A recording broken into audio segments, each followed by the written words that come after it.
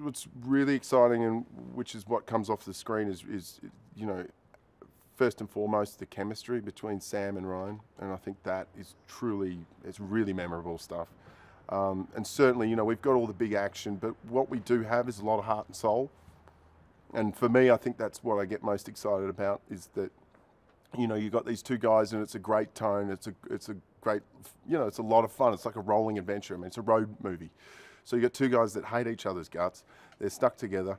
They've got to get from point A to point B. Everyone's trying to kill them. And on top of that, they're trying to kill each other because they hate each other. So it's really charming, and I think there's a lot of humility uh, and vulnerability in both the characters, and, and um, yeah, it's just a good, a good fun ride, and I think it's it's got a, a even potential for a little bit of a feel good ending.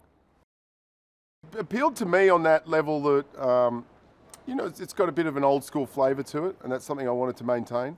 Um, and I think that you know some of my favourite films of all time, and I'm not kidding, is like you know it's like Midnight Run and Trains, Planes and Automobiles and 48 Hours and you know, certainly that's from the from from you know throwback to some of the '80s fare, um, and ours has, has been modernised since then. But I think it's that pairing of when you get you know it's a buddy action comedy and and really really appeals to me because you get those contrasts of characters and contrast of flavors and their attitudes. It's a classic. I mean, a buddy action comedy is that pairing. It's essentially it's a romance movie, and the romance is between Michael Bryce and Darius Kincaid.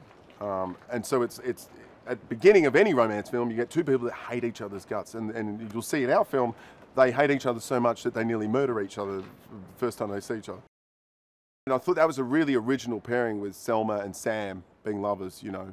Uh, and they're both, you know, what you what you expect there. That traditionally you're going to have a, you know, Samuel's character's out here and he's this crazy hitman with a pot, foul potty mouth and you think Salma's going to be this, you know, a contrast to that. Well, it's like you realize Salma's more further that way than Sam is, and she actually makes Sam look conservative. So that's, you know, it's it's it's two extremes, I guess. Two massive extremes fall in love with one another, and you realize like their love is genuine and it's real, and because it's honest and it's open. And I think that's one thing that that Michael Bryce's arc, what he has to go through, is to learn to be honest with himself.